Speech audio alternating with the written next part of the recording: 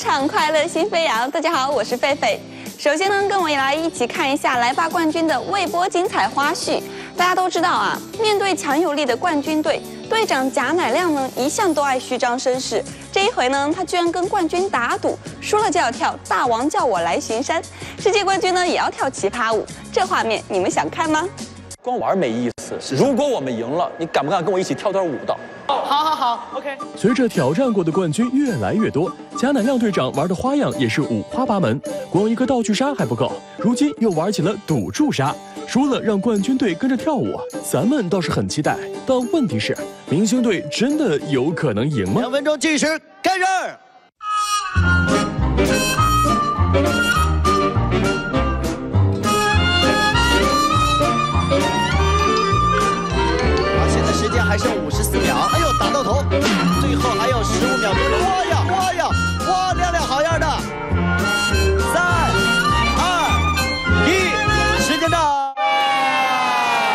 才呢，有一个球打中了林晓峰的头，林丹过来，嗓子哑成那样，还特别着急跟我说：“打中头一个扣十分。”打到打到头扣十分，你们敢不敢接受这个挑战？打中头扣十分？没有，我不接受。刚刚还气势满满，一说到扣分，立马原形毕露。你们这样还能战胜火力全开的冠军队吗？好，两分钟，林丹的挑战计时开始。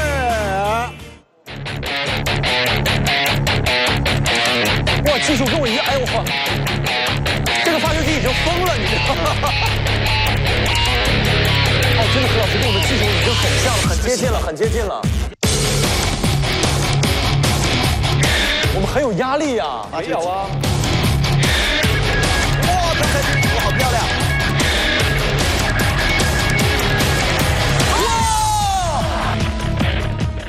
最后的五秒，林丹累了，四十七个球，哇！如此看来，贾乃亮准备了许久的赌注杀是没有出场的机会了。不过冠军队的王小李倒是大度的很，既然你这么想比武技，那就奉陪到底。没有放出狠话来，如果你们输了，就要跟着他一起跳舞。让我们一起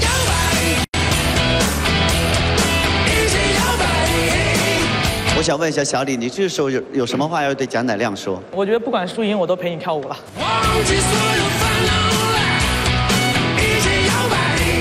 其实你就是想跟我一起跳舞，懂了，懂了，懂了，懂了，懂了。什么舞？那么一首《大王带我去巡山》送给你，打打打打，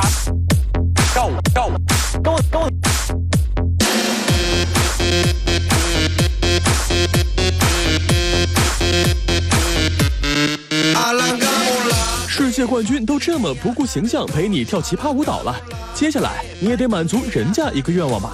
林丹的要求也不高，就是再让他秀一把精准的球技。只是嘛，要劳烦亮队长当一回人肉障碍物。终结者队队员被固定于圆盘，并在身体四周放置气球，在圆盘旋转过程中，林丹需将气球逐个击破，以此展示他的击球准度和快速反应能力。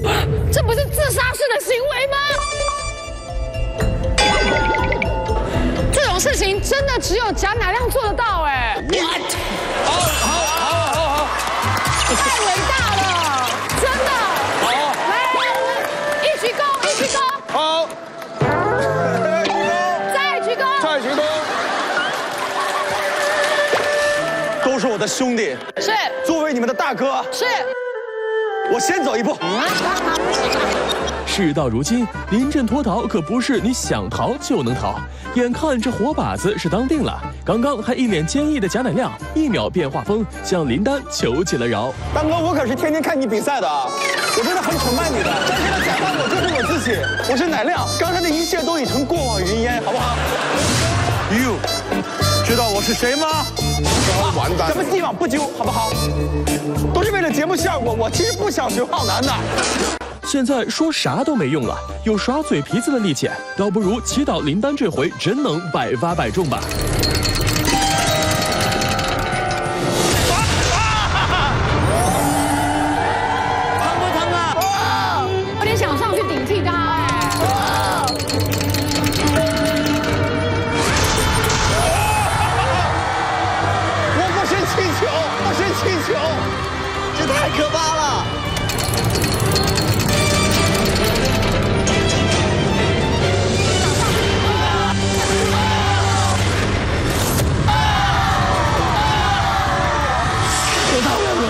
了，可以了，可以了，可以了。怕，我一直怕打。亮亮，你真的要跟林丹握握手。他说宁愿不打到气球，也不能伤了贾乃亮。林丹是爱我的，他是爱我的。娱乐牧场综合报道。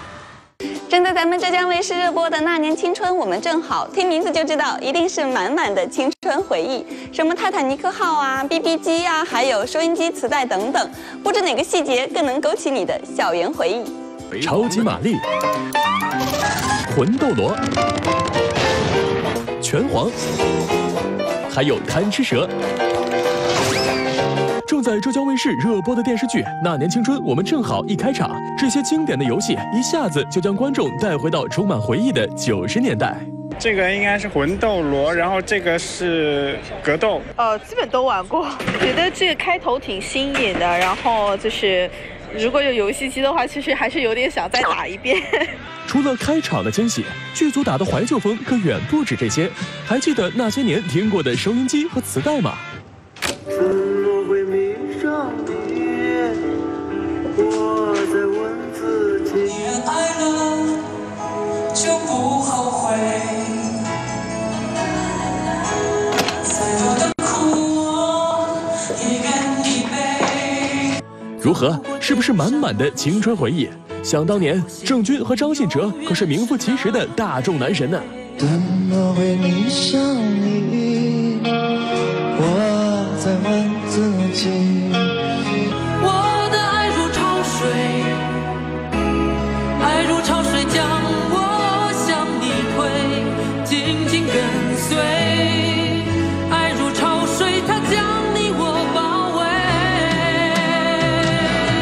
时出的那种专辑，而且还不是正版，都是那种。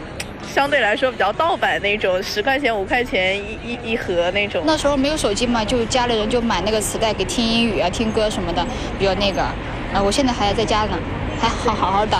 如果说这些都还不算怀旧，接下来的桥段可都是打上了时代的烙印。有了这个，我就能跟你联系了。但我警告你啊，这个呼机只有咱们俩知道，跟别的男人联系。虽然如今看来有点老土，但当年可是追女孩的不二手段呢。我一直想念你的嘴唇、你的耳朵、你的舌头、你的脸蛋儿。你送我传呼机，我回赠你千纸鹤。我说你成天折这么多没用的东西，这还能帮你考大学啊？放我卷，别动。我也会折，小时候玩过，送给我男朋友。再或者在楼道里悄悄约会。好了，二哥，大家别坐脸啊。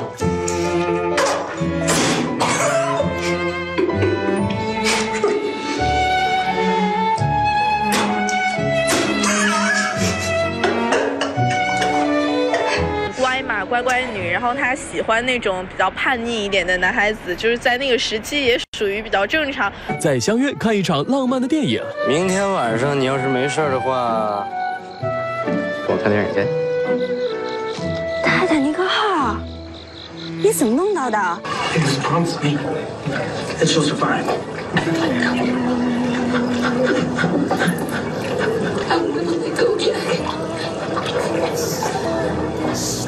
哎呦我的妈呀！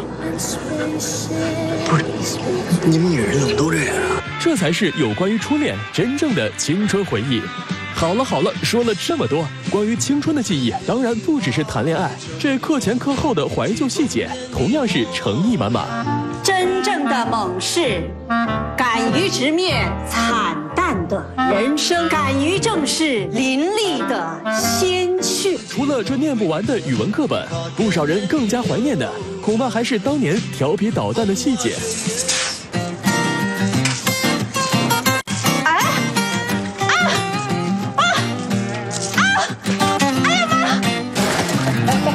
老哥摔倒了。捉弄老师我们倒没没有不敢，而且捉弄同学一类的。哎，你没在里边啊，何老师？干嘛呢？罚你站站错了？没有。你们俩回去好好站着去。看到他们学生时代吧，比较想念学生时代的那。流水它带着光阴的故事，改变了一个人。就在那多愁善感的初始等待的青春。要说走红毯的经历，女神高圆圆绝对是不遑多让的。而最近，她就友情加盟了蜜蜂少女队，做起了少女们的红毯顾问。圆圆女神究竟会教授哪一些秘诀呢？一起来看一下。经过两个多月的魔鬼训练，十多场残酷的淘汰赛，蜜蜂少女们终于等来了在澳门演出的机会。走红毯开发布会，面对如此重要的人生中的第一次，少女们难免会手忙脚乱。不过好在节目组请来了女神高圆圆来助阵。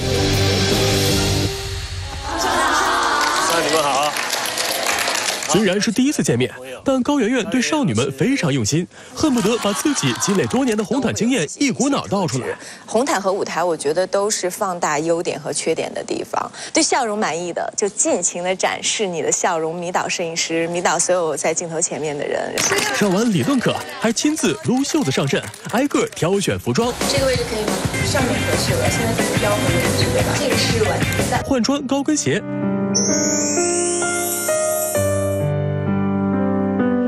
最后还手把手的教走秀摆姿势。我说女神，你这是要去竞争上岗，应聘经纪人和造型师吗？我大概说一下在红毯上的一些情况。那通常可能两边有媒体，和你正对方有媒体，所以走的时候什么地方有媒体就要照顾一下什么地方，把自己的笑容给媒体，然后把自己最美的 pose 给媒体，自信。对，来走。雪儿，你别晃好不好？是，雪儿走起来是这样。有欢笑，也有泪水。由于吴奇隆队的赵婉婷在韩国受伤后久未痊愈，于是她主动提出退出闪耀奇龙猪队。因为很客观的原因，我脚伤了，嗯，而且不一定短期能恢复得很好。我不想拖累这个团队。奇隆老师真的很爱我们，就像就像爸爸一样。他他的付出，他的他为我们做的任何一切，我们都看在眼里。朝夕相处了这么久，如今赵婉婷却不得不离开，不仅队友们哭成了一片，就连教头吴奇隆也忍不住掉下了眼泪。每个人都很心痛，现在心最痛的应该是四爷吧，他刚刚就一直，我看到一个一直以来在我们心中和眼中的一个铁汉的一个形象，一直在那边抹泪，心最痛的是他。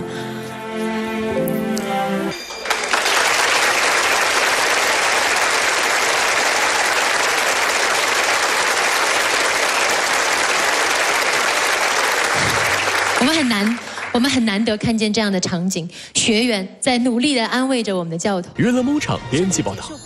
这张图上的人物是谁？请说出他的名字。哦，那个我熟悉，我最熟悉。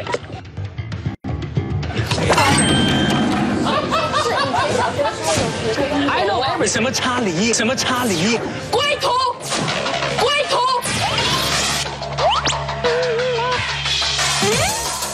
还记得在看图猜字游戏中，葛天把闰土念成归土的戏剧性一幕吗？最近陈意涵也在这个闰字上遭遇了滑铁卢。第一题，真的看不到闰土在西瓜地里用钢叉，要插的动物是什么？一号陈意涵，呃，这第一个字是什么字啊？闰字。好不容易学会了润字的发音，接下来一个茶字又难倒了大家。田鼠啊？没什么都没说。这是什么啊？茶茶。哦，可以翻课本是吧？不可以。茶茶茶茶茶茶茶。不能查，不能查，不能查。请确认答案。茶茶茶是什么？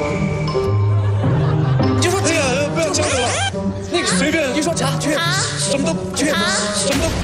茶茶茶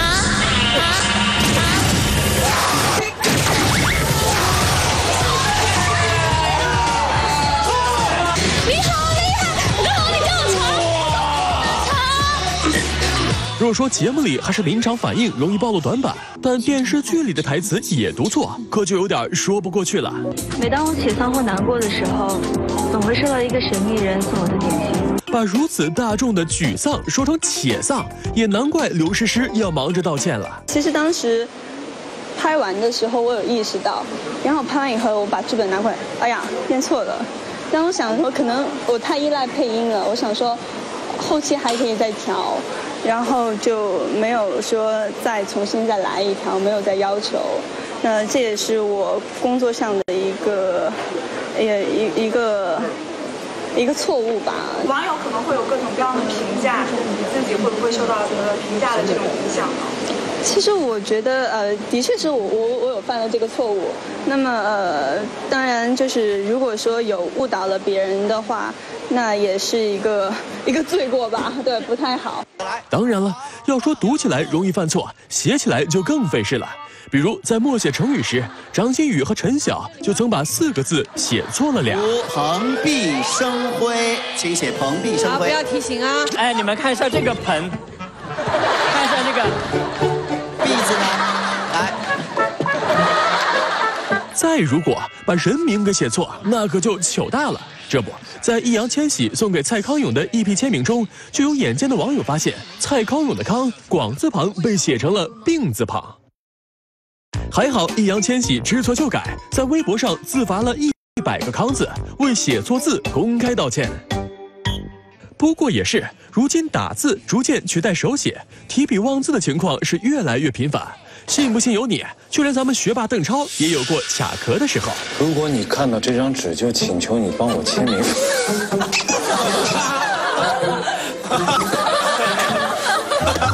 能不能说，如果你看到我的签名，就把密码告诉我？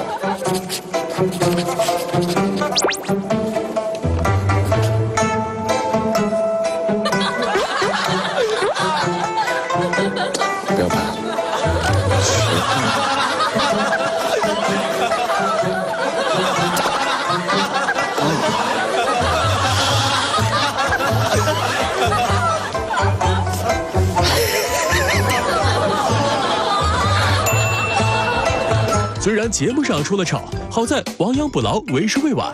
此后的记者会上，邓超赶紧重写霸字，才算是保住了学霸的地位。看清楚了，要写简体还是繁体？都行。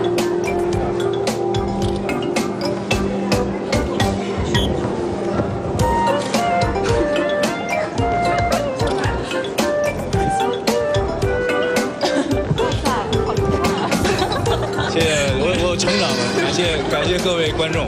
娱乐梦场编辑报道。说到郑钧，那可是摇滚界的一把好手。不过大伙儿可知道，他居然还会画漫画。最近呢，根据他的同名漫画《摇滚藏獒》改编的动画大电影，就举办了盛大的发布会，还请来了德云社一帮干将来配音，这场面想想都热闹。我今儿差点来不了，为啥？因为那个王中磊给我喊了一微信，他说我得上韩国，我说中军呢，朱军说上非洲，我说冯小刚呢，冯小刚来不了，我说那我也别去了，他说别，他说郑钧在，我说那管什么呀，是吧？我可能挺忙的，后来他们说说郑钧他太太在，我说那我得来。摇滚型男郑钧好不容易转型做起了动画片，哪知偏偏遇上了心直口快的郭德纲，前脚才被嫌弃不管用，后脚吉他换快板又惨遭调侃。您送给军哥，军哥送给您。是这样啊，我准备就开始巡演了啊。这个帅着。地铁一号线开始巡演啊，一站一站，我就一站一站的啊，就一站一站的啊。花个心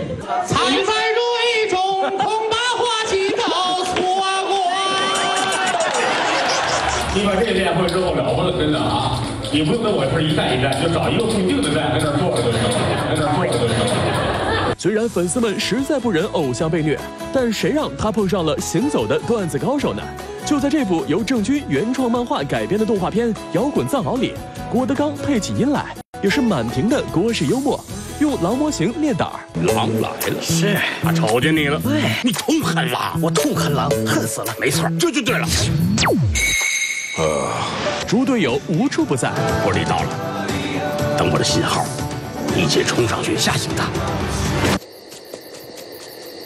刚才挥手就是信号，还摊上个智商堪忧的儿子。老爸，我决定要成为一名音乐家。你成不了音乐家，玻璃，我们的职责就是他们。不对，我觉得你穿错了，你后腿穿了前腿的套。这样，左边你这样，那一边是另一边，这样吗？哦天哪！不过好在那都是片中情节，现实中的郭德纲可绝对没有这方面的顾虑。郭麒麟不拿钱当钱，当命。所以我们这么些年来，经常给灌输他要学会给爸爸买礼物什么的。但是很好，他他学会了抵制这种繁华啊。事实上，这部融入郑钧七年心血的摇滚藏獒，除了有郭德纲本人的鼎力加盟，德云社的各路人马也纷纷贡献了自己的配音首秀。特别是于谦，这回配的居然是终极大 boss。这边有情况，有只藏獒要下山，抓活的，拿下他。拿下雪山村。虽说是给反派配音，但对常年忍受郭德纲调侃，这次终于扬眉吐气的于谦来说，简直太过瘾了。怎么都挺爽。实际上，反派人物是最出出戏的。娱乐工厂北京采访报道。其实呢，不仅郑钧拥有隐藏新技能，神仙姐姐刘亦菲也同样如此。最近忙着宣传《夜孔雀》的她，还被爆出她早年在日本出道，居然还唱过动画片的片尾曲。这一发现可把小伙伴们都惊呆了。行走娱乐圈没点特殊技能怎么行？就在最近，神仙姐姐刘亦菲就被人爆出曾为日文版的《飞天小女警》演唱片尾曲，甚至还在日本出道发行过日文专辑。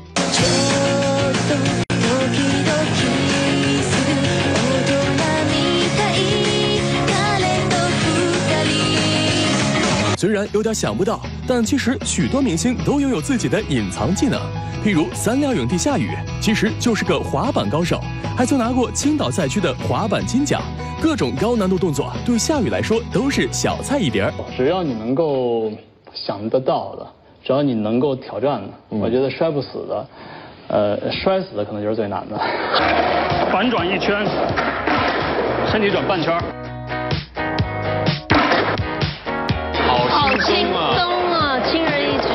滑板，夏雨的滑雪技能同样满点。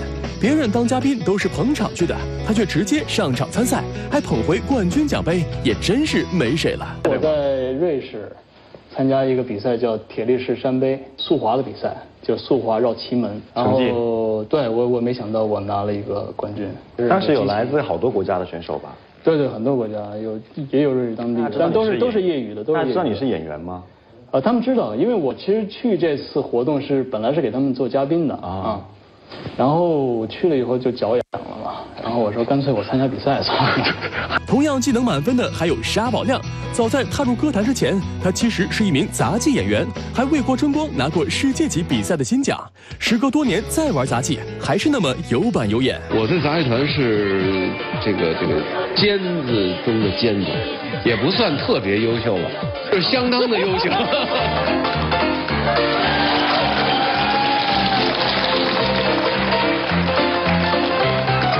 虽然看上去轻松，但为了练就这个技能，沙宝亮当年可没少吃苦。是总是挨打，是天天挨打，天天练功啊，练好了，练不好打你，告诉你为什么不好，练好了我也打你。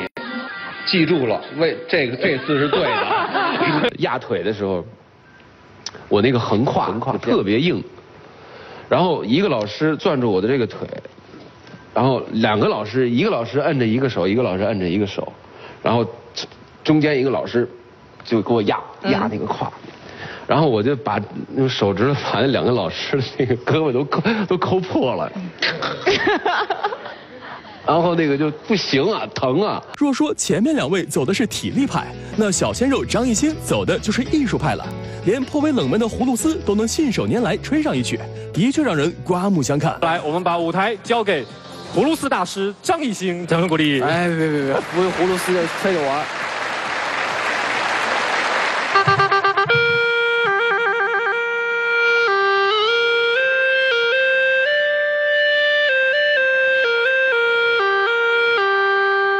娱乐梦场编辑报道：要说本届戛纳电影节红毯上的最大惊喜，当属以黑天鹅造型亮相的李宇春了。一袭黑色深 V 拖地长裙，搭配帅气的银灰色短发，成功聚焦了全场的目光。我说春春，你是怎么挑中这一身的呢？我在国内的时候，我当然有看这个照片，就是因为有很多不同的礼服嘛，就是会看一看、选选什么的。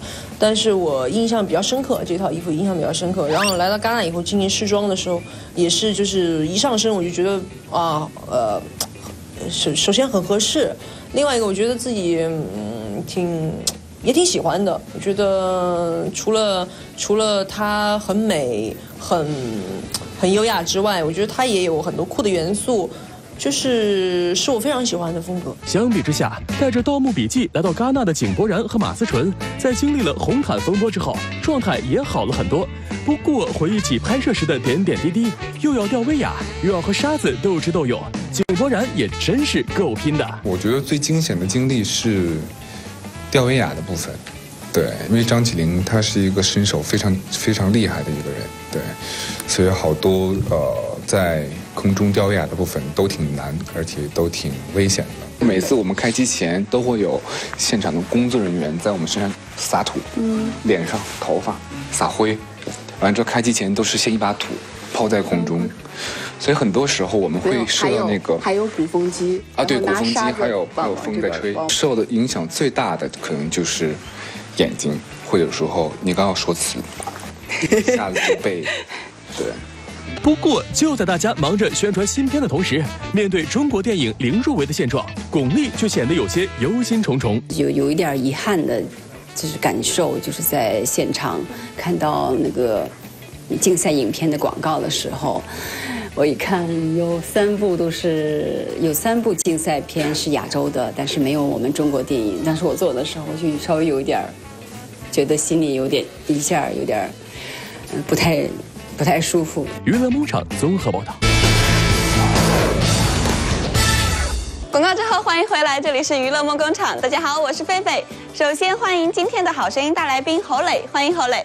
Hello，大家好，我是侯磊，很开心又能够一次来到娱乐梦工厂。最近看侯磊的微博啊，是刚刚有录完一首新歌，对不对？对，一首新歌啊，大制作。我们也是非常的期待，虽然呢新歌还要过一段时间才能够听，但是呢侯磊最近也和好声音的小伙伴塔斯肯、黄勇一起演唱了四大天王的金曲串烧。在我演唱的时候出现了一些状况，就是他在介绍歌名的时候，竟然介绍成有请侯磊和侯磊为大家带来这首《今夜你还来不来》，我当时。实际上，实际上应该是今夜你会不会来，对不对？对对。那的确是满满的怀旧感的一首歌。那你现场能不能给我们唱一段呢？今夜你会不会来？你的爱还在不在？好，谢谢何磊的歌声。那我们今天节目到这里呢就要结束了。明天同一时间我们不见不散喽，拜拜。拜拜。Hello，大家好，我是轩轩，我是黄奕，我是赵露，我是中国好声音第四季的李安，我是大山，我是常宇，我是梁君诺，我是李佳格，我是陛下，我是张柏林，我们是 XL，爱生活也爱直播，爱唱歌也爱直播，我在咖喱直播唱给你听，等你哦，超越自己，来吧。